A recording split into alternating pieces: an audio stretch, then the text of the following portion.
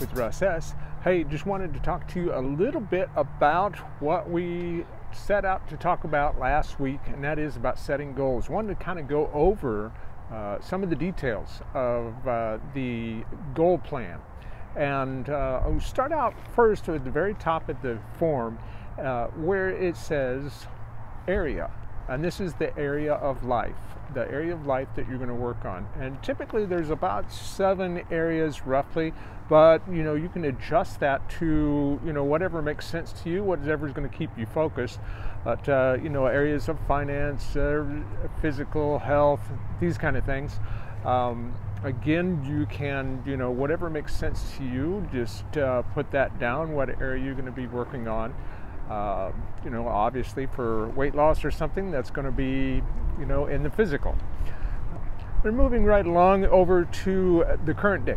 The current date is important because what you're wanting to do is to identify what point in time, you know, crystallize what point in time you are right now and what an impact it's going to be as you you know set out on this journey. You can always go back to it. It's going to be a reference for you basically. So you want to include a target date and the target date is a date that you're going to you're planning to get that accomplished.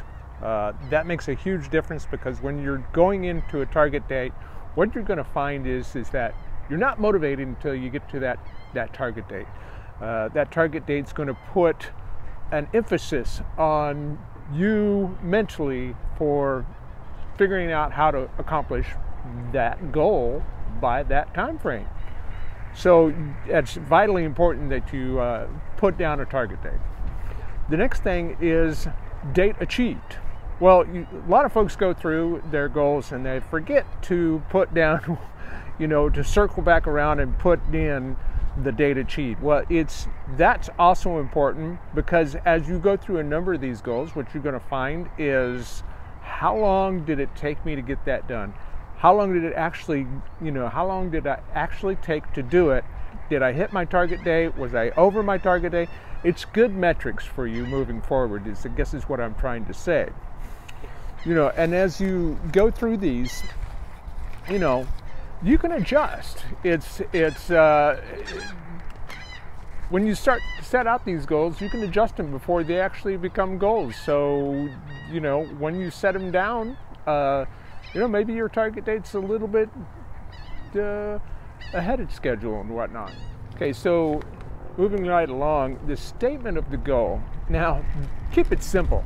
Uh, you know, the best thing to do is you get down uh, a road of trying to describe every little detail about the goal. That's not here, that's not what's meant here for the statement of the goal. What's meant for the statement of the goal is to make it simple. You know, I want to lose 30 pounds. Uh, I want to pay off a credit card. I want to, you know, and then name the uh, the credit card and the amount. Uh, what, you know, how much you owe on it. You know, $4,500, uh, whatever the case may be. Just make sure you put down as much detail, but stay reasonably general in that. Uh, you know, you don't want to go down a whole lot of deltas trying to describe everything about that goal. Uh, you can certainly do that in the plan itself. So, what are the benefits of achieving this goal? That's an area where you're going to identify you know, what's this going to mean? When you get it done, what is it really going to mean? What is it? How are you going to feel? What is it going to be like? You know, what uh, are you going to be elated that you have it done? Are you going to be uh, financially free? Are you going to be able to pay down another bill? Are you going to be able to uh, start going to the beach in that uh, bikini or whatever swimsuit outfit that you have or those those uh, tight jeans that you want to wear or whatever the case may be. You know you just want to make sure that you're identifying with uh, what it is what that really means what this really means to you. Uh, you know you can have a certain level of excitement and you should have a reasonably good level of excitement as you go through these because that allows you to focus and I can't say that enough. You know, it's not just you know, one thing that's going to cause you to focus on your goal. It's going to be a lot of things that help you focus on the goal. Primary one is going to be discipline. Secondarily is your excitement level, and you know, you don't want to fail, and that, and that, uh, you know, is maybe a positive and negative effects of goal setting, but that's exactly what it's for. It's to build the disciplines you need in order to move forward and be successful. Does it happen overnight? No. But it is a learned, disciplined process that you need to pay attention to, and you have the opportunity to write all those details down, get those into written format, and then reference them as often as you need to. So, impossible challenges, what you want to identify are all the things that you're going to have to overcome in order to get through the goal. Uh, you know, uh, maybe that you you need a second job. Well, you're going to have to get a second job if you're going to get through. You know, if your goal is financial uh, freedom, or if your goal is, you know, more more appropriately, you're paying off that bill. You need extra income. You're going to have to find a way to earn that extra income. So that may be, you know, part of your challenges is finding, uh, you know, a job, and then, uh, you know, an additional job or a second job. And it, so with that, what you may also additionally find is that you're going to find a way to overcome those challenges. And when you overcome those challenges, you're going to identify all the details that you need in order to overcome those challenges in a way that makes sense to you. So this is actually problem resolution. You go through the problem, problem resolution, what you're going to find is those obstacles that you thought were going to be problems become much less problems and more so a step by step procedure and how to make it through to the next step. In the specific action steps for achieving this goal, what you're going to do is you're going to go through and build out this master plan for developing your goal. You're going to project plan basically your entire goal. To lay out, you know, all the things that need to have happen. You've already figured out what the challenges are. You already know how you're going to overcome them. And now it's to, you know, put that into an action plan. You're going to say, okay, well, I'm going to get this done at such and such a day and um, you know, and you're going to mark your time down on that. So you're going to go through this project plan. You put a target date and then a a a, uh, a date actually achieved. And as you go through this, what you're going to find is that that builds momentum. It builds momentum towards getting to the end of your goal. Now, how do you, you know, the, the analogy is, is how do you eat an elephant? One bite at a time. So that is the same way you do the goals is one step at a time. You know, much like a, a rung on a ladder, you're going to step by step into, you know, climb up to where you're needing to go and eventually get where you want to be. Uh, like I said, it doesn't happen overnight. It does happen step by step.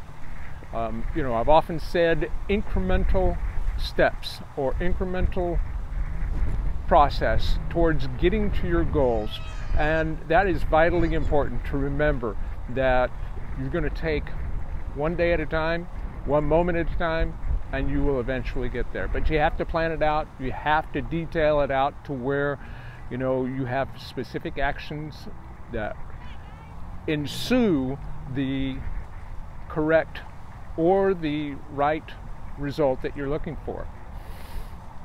Okay, so in the next section, we're talking about affirmations, and this is an area that is, again, vitally important.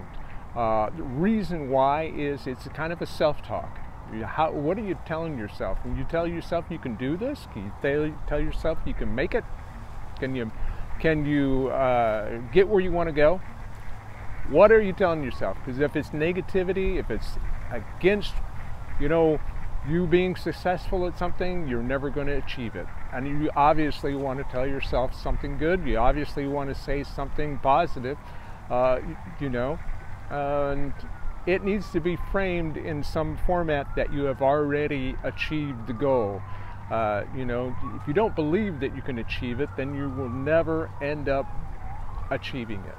So it has to be in some format that allows you to believe that it's possible. You know, it's something in the in the order of, you know, I feel great in my new uh, size 10 jeans or whatever the case may be.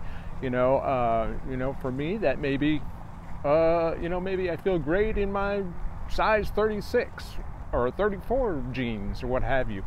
Uh, look great, feel great, and just uh, you know something of that order. You know, and uh, you don't have to be complicated about this. Just you can detail that out as much as possible. Just make sure you're telling yourself positive, reaffirming actions or positive affirmations. On the last section, it is you know basically a decision, yes or no decision. Is it worth the time and money to do this goal?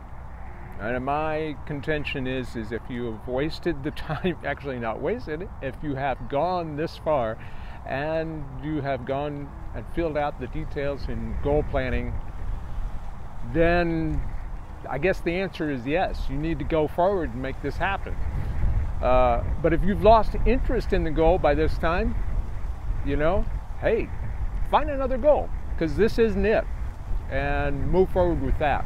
You know, the basic thing to remember is always have a level of excitement. If you don't have a level of excitement for your goals and your dreams and your aspirations, they will never happen. So it's a level of excitement. If you are excited about doing something, if you have, uh, you know, a good enough affirmation behind it, as well as you know a reason to to do uh, and to move forward with that goal, then you will find a way to make it happen. I hope this has been instructive to you, and I offer this so that you can have a chance to be successful in what it is that you're wanting to do. It's very basic, it's very primary, but it's nonetheless another step that you can take towards focusing in on what it is that you want to do, becoming that person that you want to become. Does it mean you're going to be a millionaire? I don't know. Is that your goal? Who knows? But it does mean that if you follow a plan of action, you'll be much closer to it than you would be if you had done nothing at all. Anyway, my name is Russ Hess, russhess.com, Open Talk. We'll see you on the next video.